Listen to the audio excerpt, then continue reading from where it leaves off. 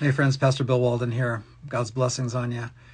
Devotional today uh, for February the 10th, 2024. This is out of Matthew 26. It says, And it came to pass when Jesus had finished all these sayings that he said to his disciples, You know that after two days is the Passover, and the Son of Man will be delivered up to be crucified. In Matthew 25, 24, we saw Jesus teaching on prophecy. In the previous chapters, we saw Jesus debating uh, the religious rulers as they were trying to set uh, traps for him in public to catch him in his words, to cause him to be looked down upon by the public.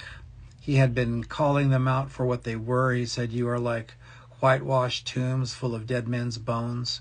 You put burdens on the people. And Jesus did all these things knowing full well that it would stir up their anger against him. Uh, but he had to speak the truth, not only for their sake, should they choose to repent, but also for the sake of the of the people in public, lest they keep following them. Jesus warned the public, the the common man, if you will, to not follow uh, the lifestyles and the the attitudes of the religious leaders who were not serving God; they were serving themselves. But as I was reading Matthew 26, verse 2, it says, Jesus said, You know, after two days is the Passover, and the Son of Man will be delivered up to be crucified.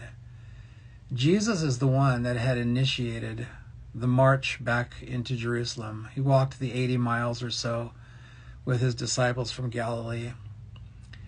He went into the temple area. He allowed himself to be received on Palm Sunday, uh, just a few days previous to chapter 26. And uh, they we're calling him Messiah, the son of David, save now. Um, the Pharisees said, "Rebuke your disciples because they're they're worshiping you." And Jesus said in another gospel, "If I tell you, if these don't cry out, the the very rocks will cry out."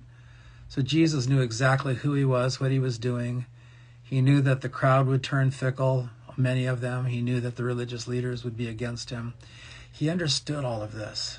And yet I was struck with the statement so matter of factly that he's telling his disciples, they're going to kill me. And he willingly walked right into it. And it's just astounding to me the deep love of God for me, for you, for mankind, the deep desire of Jesus Christ, God the Father, and God the Spirit to have people forgiven of their sins. Listen, when judges let guilty criminals go, we say they're bad judges. We expect justice. God expects justice too. And He should. We get that idea of justice, I believe, from the heart of God. But mixed with His justice, there's a great deal of mercy. And He, if you will, allowed His Son to be a substitute for us. He took our crimes, He took our sins, He suffered for us so that we could be pronounced not guilty. And Jesus willingly and lovingly uh, just told them, listen, the Son of Man's going to be delivered to be crucified. And He walked right into it. This was the plan of God from before the foundation of the world. God so loves mankind that He sent Jesus, His only Son. Uh, to be a sacrifice for our sins.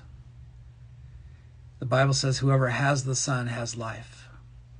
And it says that to living people, people who are living biologically, but really not alive spiritually. God wants to give you eternal life. And I'm so thankful uh, to Jesus Christ, who just told his disciples, guys, this is what's going to happen. And in, in essence, it's the plan of God to save you.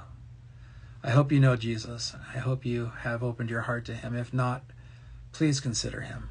You know where to look. If I can be of any help, I'd be glad to. Okay, thanks. God bless you. Bye bye.